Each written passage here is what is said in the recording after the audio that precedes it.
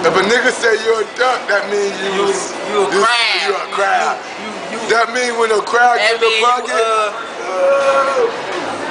What?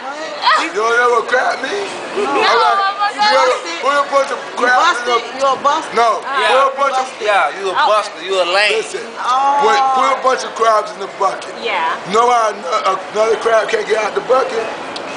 Because away. you know what the other crab do?